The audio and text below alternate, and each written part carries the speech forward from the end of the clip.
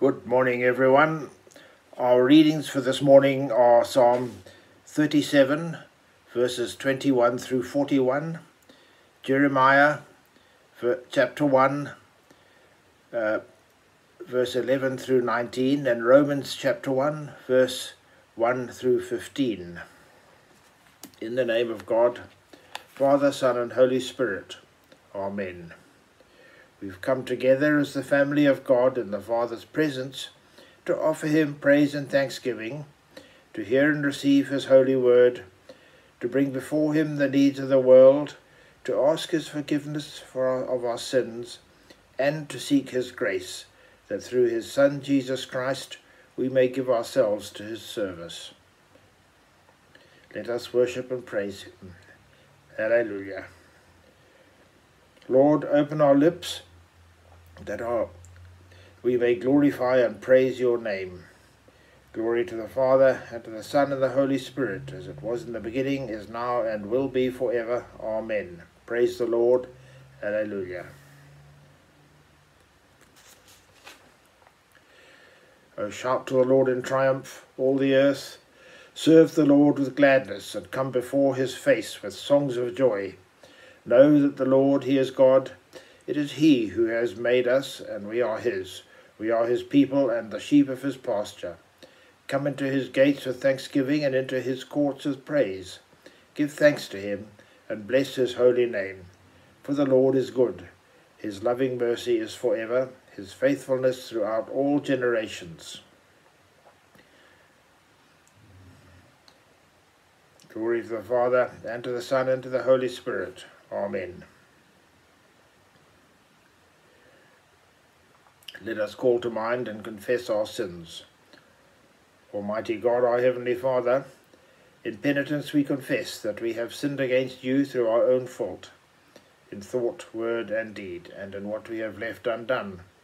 For the sake of your Son, Christ our Lord, forgive us all that is past, and grant that we may serve you in newness of life, to the glory of your name. So, Almighty God, have mercy on us, Forgive us our sins and keep us in eternal life through Jesus Christ our Lord. Amen. And we read, uh, we read our psalm for this morning, Psalm 37, starting at verse 21. The wicked borrow and never repay, but the godly gen are generous givers. Those the Lord blesses will possess the land, and those he curses will die. The Lord directs his steps, the steps of the godly, and he delights in every detail of their lives. Though they stumble, they will never fall, for the Lord holds them by the hand. Once I was young, and now I'm old, yet I have never seen the godly abandoned, or their children begging for bread. The godly always give generous loans to others, and their children are a blessing. Turn from evil and do good and you will live in the land forever. For the Lord loves justice, and he will never abandon the godly. He will keep them safe forever, but the children of the wicked will die. The godly will possess the land and will live there forever. The godly offer good counsel. They teach uh, God's law as their own, so they will never slip from his path. The wicked wait in ambush for the godly, looking for an excuse to kill them. But the Lord will not let the wicked succeed, or let the godly be condemned when they're put on trial. Put your hope in the Lord. Travel steadily along his path. He will honour you by giving you the land. You will see the wicked destroyed. I've seen wicked and ruthless people flourishing like a tree in its native soil. But when I look again, they were gone. Though I searched for them, I could not find them. Look at those who are honest and good, for a wonderful future awaits those who love, in pe- who love peace. But the rebellious will be destroyed. They have no future. The Lord rescues the godly. He is their fortress in times of trouble. The Lord helps them, rescuing them from the wicked. He saves them, and they find shelter in him. Amen. And our Old Testament reading is from the book of the prophet Jeremiah, chapter 1, starting at verse 11. Then the Lord said to me, Look, Jeremiah, what do you see? And I replied, I see a branch from an almond tree. And the Lord said, That's right, and it means that I'm watching, and I will certainly carry out my plans. Then the Lord spoke to me again and asked, What do you see now? And I replied, I see a pot of boiling water spilling from the north. Yes, the Lord said, and terror from the north will boil out on the people of this land. Listen, I'm calling the armies of the kingdoms of the north to come to Jerusalem. I, the Lord, have spoken. They will set their thrones at the gates of the city. They will attack its walls and all the other towns of Judah. I will pronounce judgment on my people for all their evil, for deserting me and burning incense to the other gods. Yes, they worship idols made of their own by their own hands. Get up and prepare for action. Go out and tell them everything I tell you to say. Do not be afraid of them, or I will make you look foolish in front of them. For see, today I have made you strong like a fortified city that cannot be captured, like an iron pillar or a bronze wall. You stand against the whole land, the king's officials, priests, and people of Judah. but they will fight you, but they will fail, for I am with you, and I will take care of you. I, the Lord, have spoken. Read Canticle number four.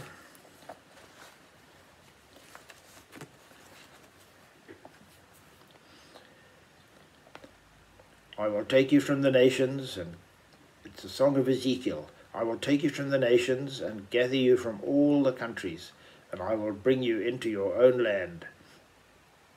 I will sprinkle clean water upon you, and you shall be clean from all your defilements, and from all your idols I will cleanse you. A new heart I will give you, and a new spirit I will put within you. I will take out your flesh out of your flesh the heart of stone, and I will give you a heart of flesh. I will put my spirit within you, and I will cause you to keep my laws. You shall live in the land which I gave to your forebears, and you shall be my people, and I will be your God. Our New Testament reading is from the book of Romans, chapter 1, beginning at verse 1. This letter is from Paul, a slave to Christ Jesus, who was chosen by God to be an apostle sent out to preach his good news. God promised this good news long ago through his prophets in the Holy Scriptures. The good news is about his son. In his earthly life, he was born into King David's family line, and he was shown to be the Son of God when he raised from the dead by the power of the Holy Spirit. He is Jesus Christ, our Lord. Through Christ, God has given us the privilege and authority as, a, as apostles to tell Gentiles everywhere what God has done for them, so that they will believe and obey him, bringing glory to his name. You and you are included among those Gentiles who have been called to belong to Christ. I am writing to all of you in Rome who are loved by God and are called to be his holy people. May God our Father and the Lord Jesus Christ give you grace and peace. Let me say first that I thank my God through Jesus Christ for all of you, because your faith in him is being talked about all over the world. God knows how often I pray for you. Day and night I bring you and your needs in prayer to God, whom I serve with all my heart by spreading the good news about his Son One of the things I always pray for is the opportunity, God willing, to come and see you. For I long to visit you, so I can bring some spiritual gift that will help you grow strong in the Lord. And when we get together, I want to encourage you in your faith, but I also want to be encouraged by yours. I want you to know, dear brothers and sisters, that I planned many times to visit you, but I was prevented until now. I want to work among you and see the spiritual fruit, just as I have seen among other Gentiles. For I have a great sense of obligation to people in both the civilized world and the rest of the world, to the educated and the uneducated alike. So I'm eager to come to you in Rome, too, to preach the good news. Hear the word of the Lord. And we read the Song of Zechariah. Blessed be the Lord God of Israel, for he has looked favourably on his people and redeemed them. He has raised up for a, mighty Saviour for us in the house of his servant David, as he spoke through the mouth of his holy prophets from of old, that we would be saved from our enemies and from the hand of all who hate us. Thus he has shown the mercy promised to our ancestors and has remembered his holy covenant, the oath that he swore to our ancestor Abraham, to grant us that we, being rescued from the hands of our enemies, might serve him without fear in holiness and righteousness before him all our days. And you, my child, will be called the prophet of the Most High, for you will go before the Lord to prepare his ways, and to give knowledge and salvation to his people by the forgiveness of their sins. By the tender mercy of our God, the dawn from on high will break upon us, and to give light to those who sit in darkness and in the shadow of death, to guide our feet into the way of peace.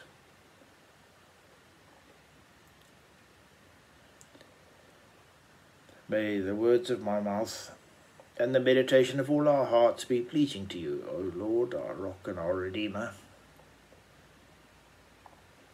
Now, God longs to have dialogue with each of us. He has laid himself open to us and made himself very vulnerable to us. So our response to his reaching out to us can either make him very happy if we accept his offer or deeply hurt if we reject it. He wants to have fellowship with us and has made it easy for us to come into his presence.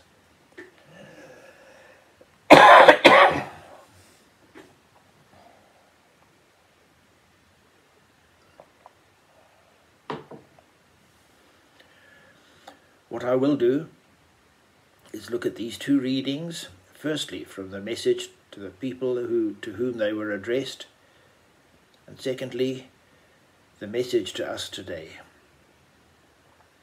For most of us, the task is to love the Lord your God with all your heart, with all your soul, and with all your mind. As we pray in the Eucharist each week but for some he asks more. Jeremiah was given a lifelong task. In this morning's reading, we hear God laying down the ground rules. Your task, Jeremiah, is to carry my message to a rebellious people. They are not going to like what you have to say, and in fact they will hate you. But don't lose focus. I will be with you every step of the way. I've made you strong. So long as you proclaim the messages that I give you, their plotting against you will not harm you in any way. I will be with you and protect, protect you. In the New Testament reading, Paul is introducing himself to the church in Rome as he tried to get there, but he had been prevented. But he sees Rome as part of his mission field. Like Jeremiah, Paul is setting out on a new venture, but unlike Jeremiah, he's moving into friendly territory, not enemy territory. God had a specific task for each of these two men. Both of them accepted the task. We know Jeremiah as the prophet who carried all the negative messages, and certainly he did this. He gives a stern warning to those who do not accept the task God wants them to do. His warning with the potter showed him that the potter wanted to make something beautiful, but the clay was marred in his hands, so he made it into another pot, this time into something very ordinary. Once baked, this could not be reshaped. Now we sing the chorus, You are the potter, I'm the clay. I'm sure that we all know the words. Some of the most wonderful promises come from his prophecies. In chapter 29, we read the well known passage to the exiles in Babylon. For I know the plans I have for you, declares the Lord plans to prosper you and not to harm you, plans to give you hope and a future. Then you will call on me and come and pray to me, and I will listen to you. You will seek me and find me when you seek me with all your heart. I will be found by you. And in chapter 31, he gives a lot of encouragement to the exiles. The audience for God's messages changed from the Old to the New Testaments. In the, New Test in the Old Testament, God is addressing the nation of Israel but as a whole. But in the New Testament, he's now dealing with individual people. He knows each one of us, has a personal interest in each one of us, and wants a relationship with each one of us. We each need to come before God and repent of our sin. Repentance means nothing if there's no cost. This is what Jesus achieved on the cross. Jesus' sacrifice on the cross has bought us forgiveness. Forgiveness comes at a cost, and Jesus has paid that price for each one of us. We could not have paid this ourselves, but Jesus has paid the price, and we're able to come into God's presence under the cover of Jesus' blood. And Paul's letter to the Romans gives us the most succinct guide on the salvation that God is offering us. He has very clearly laid out Jesus' message and work. The climax of the message is in chapter 8, but one needs to read the whole letter.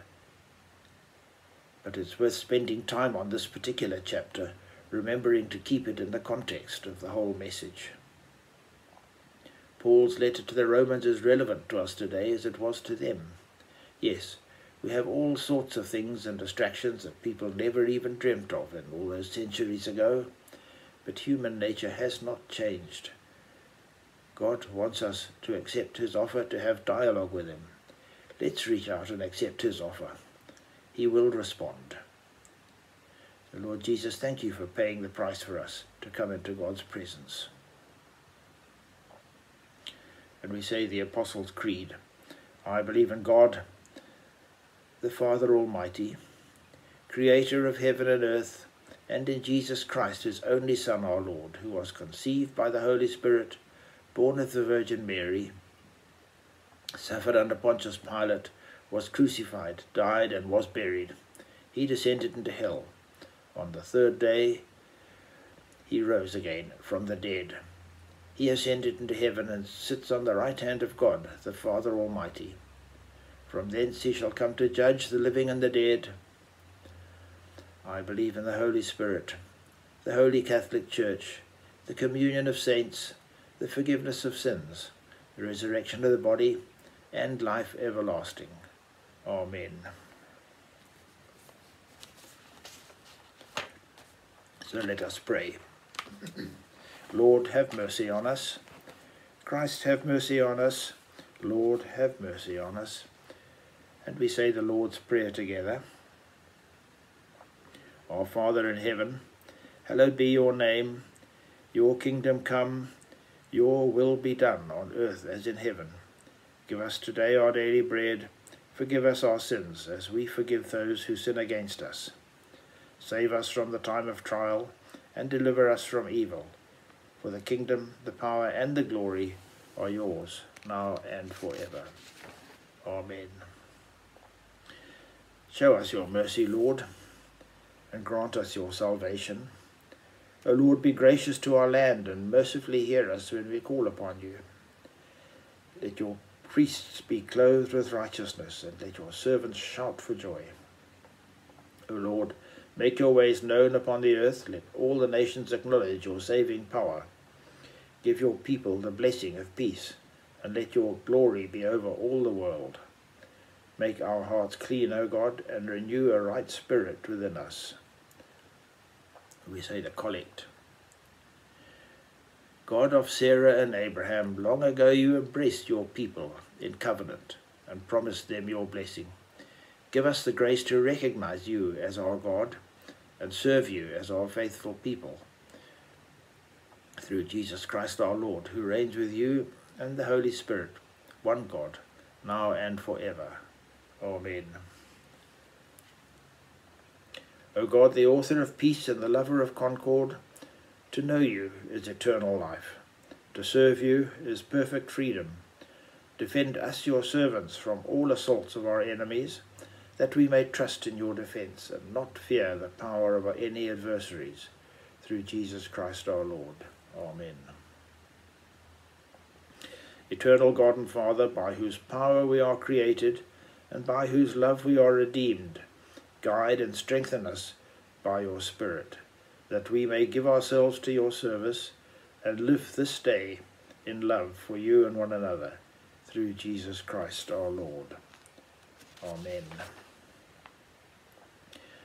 God of all power, we acclaim you.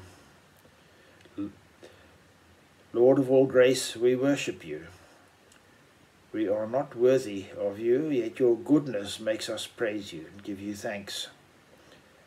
We praise you for the life you've given us and for all the blessings we've received at your hands. And above all, we give you thanks for your Son, Jesus Christ, for the grace and the hope which his death and resurrection have brought upon us. We ask this of you, our Father, that we may never forget your goodness to us that we may show our thankfulness not only in words, but by the service of our lives, both now and in all eternity. Heavenly Father, your Son has promised that whenever we pray in his name you will hear us. Answer our prayers as may be best for us, granting us in this world the knowledge of your truth, and in the world to come the fullness of eternal life, through Jesus Christ our Lord.